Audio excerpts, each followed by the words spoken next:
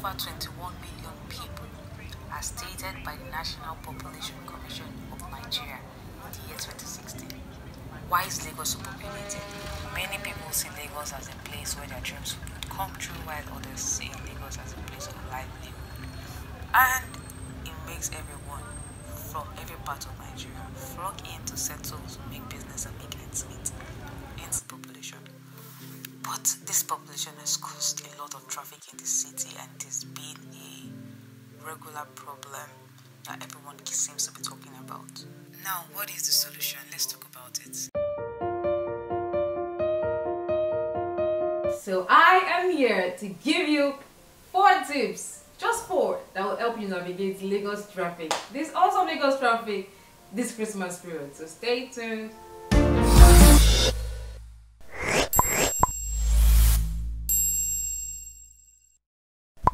Welcome back outliers to my YouTube channel. As usual, I am the Fisayo. I'm a travel and lifestyle brand. I have a blog. I just recently started a podcast, guys. What? Yes, I started a podcast. Go check it out on every channel. Spotify, Apple Podcasts, everywhere. Just check it. It's called The Big Dreamers Podcast. Without further ado, just get straight into this video. So, I'm tired of this Lagos traffic, just the way you are tired of it.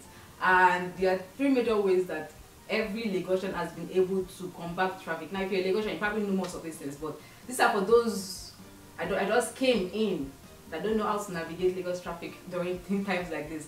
Now, this this particular way might not be most suitable to you because you're just coming in means you're a tush person. Means that you might not want to do some of these things, but let's just I mean they are they are they are not new ways that can help you be tush and still navigate the traffic. Yeah, so one is Okada. Yeah, motorcycle, as you may know it. So one way to navigate traffic in Lagos is you being on an Okada. It's like the fastest, the swiftest, the swiftest way to navigate traffic in Lagos, and it's awesome. So now these days, if you don't want to be sent on an Okada because you are too too on an Okada, there are new there are new startups. There's one Max NG. So I'm not only saying this because I'm an ambassador of Max NG. Now Max NG is a startup that allows you to go on an Okada. You can also use the Okada to make deliveries. You can basically say I want to deliver something to somewhere in Ekpe and you don't want to go to that Ekpe place. You book for their services basically up on your phone. So it's the same thing. Like the way you book an Uber you book a Taxify, you can always book for an Okada and it's branded, you wear an helmet, it's safe, they monitor all the speed limits, they make sure you're basically safe. It's not risky as much as the conventional Okada.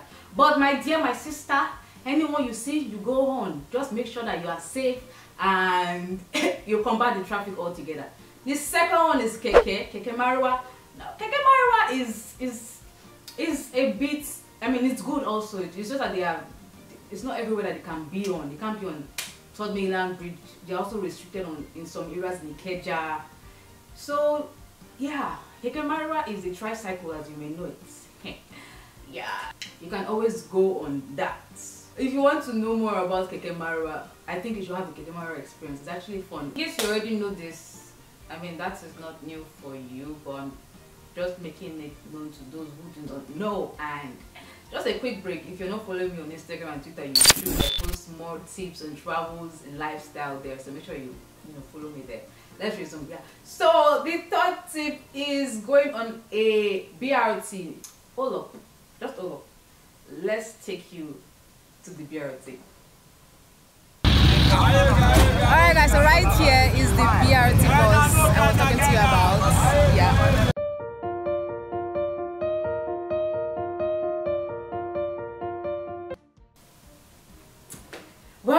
Guys. I hope that was awesome. So the BRT basically is like a big bus that takes a lot of people in at the same time.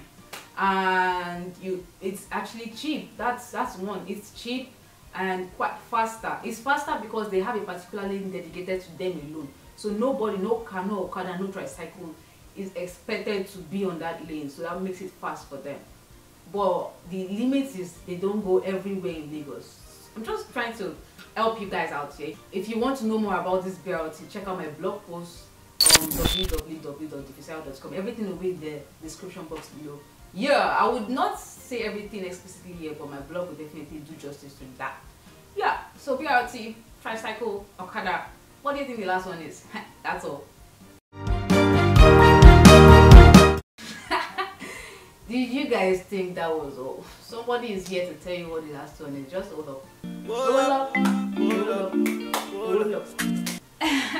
Josiah, come and tell them what the last one is. The last one is train. Oh, sorry. We don't have any train in Lagos. So, my brothers and sisters, we don't have a working train. We don't have a train that works. If you don't know, go watch this video right here. I've done a video about it. We have a new train in Abuja, by the way.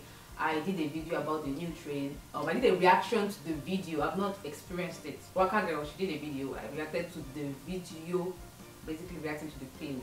Yeah. So go check it out. So that's been it. I am hopeful that we're going to have a good train in Lagos and not just in Lagos, other parts of the country that works because I know that train would greatly, immensely solve the problem of transportation in Nigeria. In Lagos to start with because Lagos is overpopulated. And imagine if we have a cheaper way and a more exotic way of going around the, city. People will definitely flock into that and there will be less traffic on the road. There will be, you know, basically less traffic and cheaper service. I mean, that's awesome. That is awesome. I'm looking forward to that happening. I know it's going to happen. If they don't think it's going to happen, we will make it happen. Yeah. yeah.